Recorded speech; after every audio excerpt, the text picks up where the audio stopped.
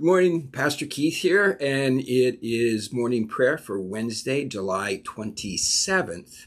And the reading for today puts a slant on the reading from yesterday about enemies, and it's just interesting commentary back and forth.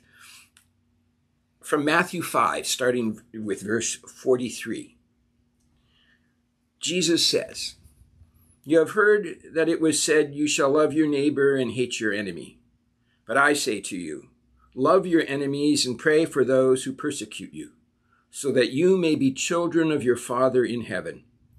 For he makes his sun rise on the evil and the good, and sends rain on the righteous and on the unrighteous.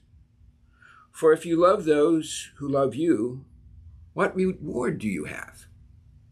Do not even the tax collectors do the same?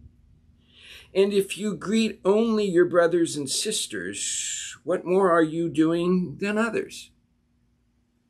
Do not even the Gentiles do the same? Be perfect, therefore, as your heavenly Father is perfect.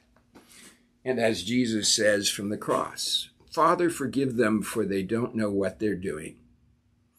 We pray for our enemies I'm going to use the same prayer I used yesterday, which I think was the first time I ever used that prayer.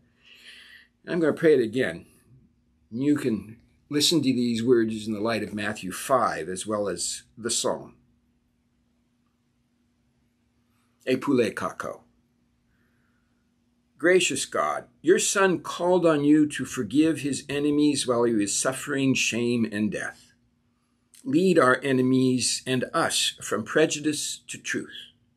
Deliver them and us from hatred, cruelty, and revenge. And in your good time, enable us all to stand reconciled before you. Through Jesus Christ, our Savior and Lord. Amen.